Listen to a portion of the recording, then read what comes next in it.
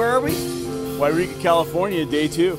Last night, uh, specialty on the menu: four ways to have chicken fried steak in Yreka. Yeah, there's not a lot of choices in Yreka, California. Beautiful but, uh, place. Uh, nice people and uh, perfect blue sky for sunshine.